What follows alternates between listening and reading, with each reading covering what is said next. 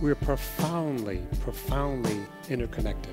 I think we're in a revolution and we're going to prevail.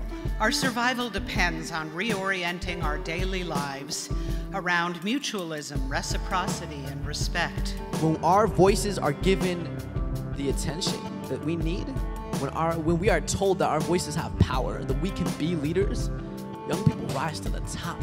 And we're never going to quit. We are going to continue to fight.